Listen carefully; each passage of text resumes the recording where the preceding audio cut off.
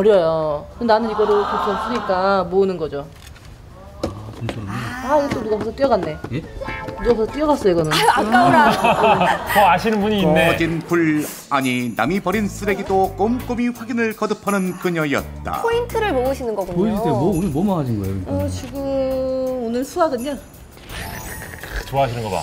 어, 꽤나. 100, 200, 600, 750. 오, 750은 뭘까? 와.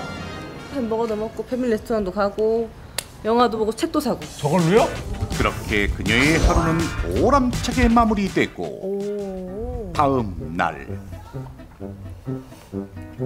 아침부터 포인트 정리에 한창인 미시즈 간장 지난 며칠간의 수확물들이 칸칸이 박혀 완성된 포인트의 하모니 오 beautiful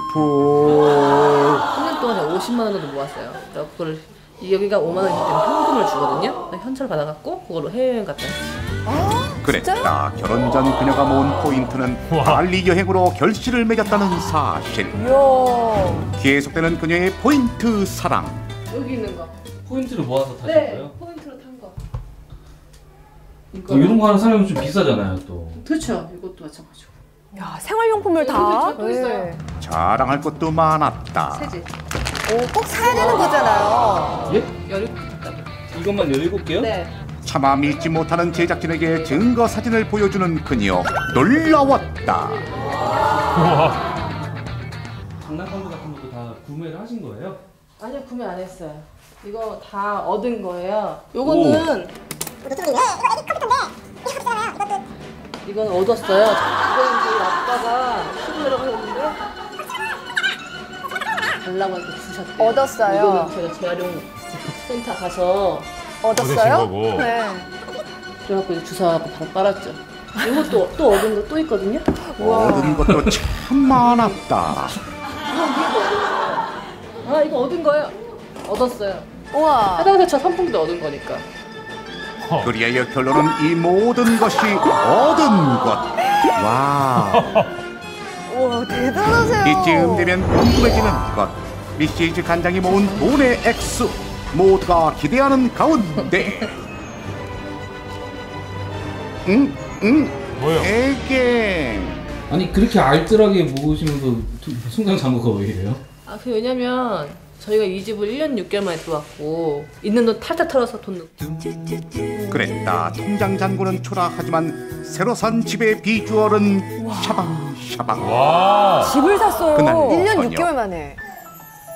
저녁 식사를 준비하는 우리의 미시즈 간장 반찬은 무려 7가지 예상을 뒤엎는 화려한 식단이다 저걸 뭐 하시는 건데요? 저희 온다고 이렇게 칠첩반상 차려주신 거예요? 네. 그건 아닌데. 다 시댁에서. 또 천 원, 천 원, 천 원, 한 이천 되겠다. 준비하고 소주로 천 원. 우와.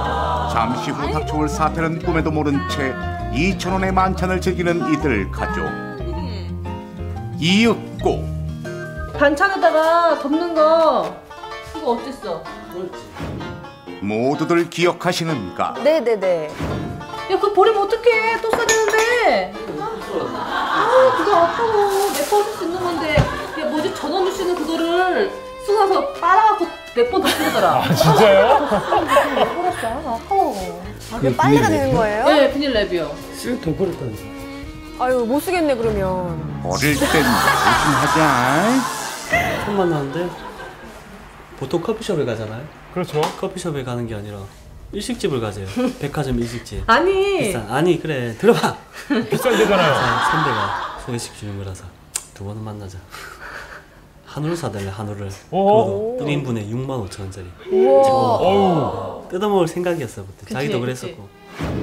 아까운 투잡이 언젠가 찾으리란 다짐으로 두 주먹 불끈 쥐고 그녀를 만난 남편 그러나 연애 또한 평범하지만은 않았으니 함께 길을 걷다가 남자친구 팔짱을 분연히 떨치고 냅다 뛰어가버린 이유 아 바로 포인트였다 야.